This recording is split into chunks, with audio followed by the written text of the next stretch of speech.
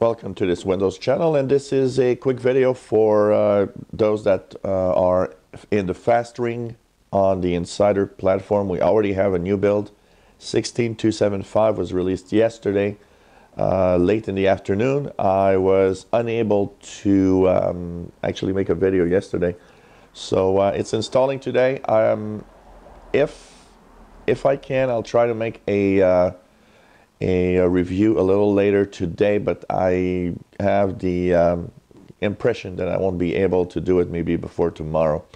So uh, it all depends on how my day goes. But uh, check it out. Uh, Dona Sarkar did say that we would have uh, insider builds at a much faster pace.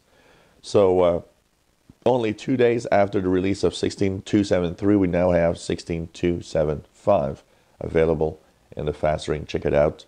And uh, this is showing us that we're getting there in that uh, moment where we're getting really faster builds and uh, of course uh, soon to have of course a, a, redstone 4 build for those that are in the skip ahead mode also. So check it out in my review or comments. If there's really not nothing much uh, maybe it will be more like a short comments on the latest build uh, available either later today or tomorrow if you enjoy my videos, please subscribe, give us thumbs up. Thank you for watching.